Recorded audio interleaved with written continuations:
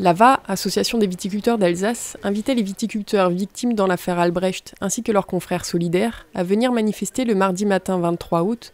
L'imposant cortège partait du Crève pour rejoindre le TGI de Colmar. Ce négoce en vin d'Orschwier a fait faillite en 2012.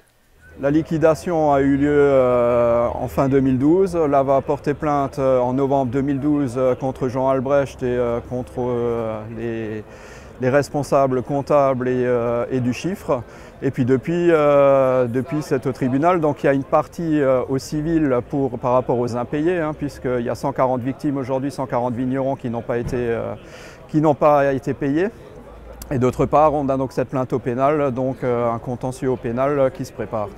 Euh, malheureusement aujourd'hui, si nous manifestons, c'est parce que l'affaire a éclaté fin 2012 et aujourd'hui on est en 2017 et on n'avance on n'avance pas. Et c'est un gros problème, c'est un gros problème pour nous. 5 ans, ça fait long. Pour 14 millions d'euros de, de, pertes, de banqueroute, c'est un dossier qui est énorme avec un nombre de victimes qui est colossal. Au bout d'un moment, la justice doit mettre les moyens pour arriver à, à enquêter et à déterminer les responsabilités dans cette affaire. Il y a très peu de vignerons qui ont, qui ont été auditionnés, donc ça c'est un problème. D'autre part, les vignerons qui sont victimes souhaitaient se porter partie civile puisque l'AVA, l'Association des viticulteurs d'Alsace, a déposé une plainte et souhaitait se raccrocher à ce, à ce wagon-là. Et euh, le tribunal a, refusé de les reconnaître en, partie civile alors que c'est eux les principaux intéressés. Quoi, hein. Donc ça c'est un gros problème pour nous. D'autre part, il y a un rapport financier qui, doit, qui devait être rendu euh, début d'année. Ce rapport va de report en report. Euh, il aurait dû être livré euh, là dernièrement. L'expert qui s'en occupe a de nouveau demandé un report et au bout d'un moment, c'est la goutte d'eau qui a fait déborder le vase. On n'a pas envie que le dossier s'endort et on a l'impression qu'on souhaite à enterrer le dossier, à mettre un couvercle dessus. Et donc là aujourd'hui, on est là pour rappeler notre détermination, que nous irons au bout, que nous voulons que les coupables soient condamnés. Alors le profil des victimes, il est multiple. Hein. Euh, il y a des apporteurs euh, pluriactifs, hein, euh, des gens qui cultivent la vigne à côté d'un travail. Il y a des vignerons qui font de la bouteille, qui commercialisent des bouteilles, mais qui ne commercialisent pas l'intégralité de leur production, donc qui revendent des volumes de vin en vrac. Il y a des apporteurs de raisins totaux, il y a des caves coopératives, il y a des négoces. Les profils ils sont divers et multiples. Ça part d'une créance de 5 000 euros jusqu'à 800 000 euros.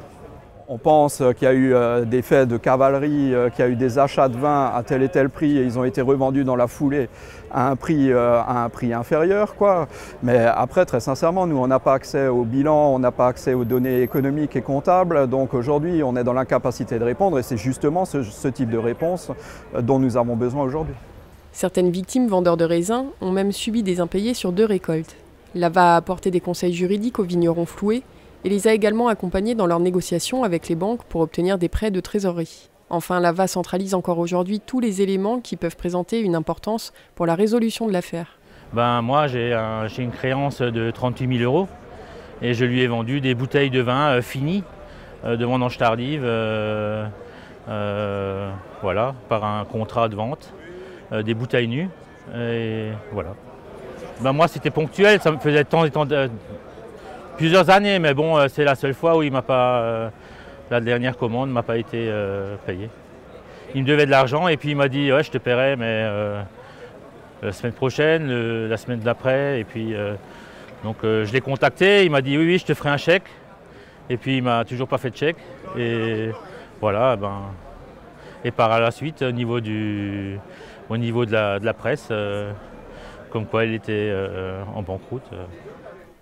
La première conséquence d'un trou si important est l'arrêt total des investissements programmés, l'impossibilité de moderniser l'outil de production. Si les banques acceptent des prêts et qu'en ce moment les taux sont bas, ces prêts seront toujours à rembourser et les récoltes compliquées successives dans la foulée de cette affaire n'ont pas aidé. Si nous devons revenir l'année prochaine, nous reviendrons, c'est pas un problème. On reviendra peut-être d'une autre manière. Hein. S'il faut, euh, faut, couper les arbres de la place, euh, on le fera peut-être. Au bout d'un moment, on a été sage on a été à l'écoute, maintenant on attend des résultats. Maintenant la justice, bougez-vous, bougez-vous, bougez-vous. Il y a 140 familles, 140 familles qui sont, victimes de cette situation. Alors la justice, si monsieur le juge vous êtes là, bougez-vous par pitié, avancez rapidement, mettez des moyens sur cette affaire.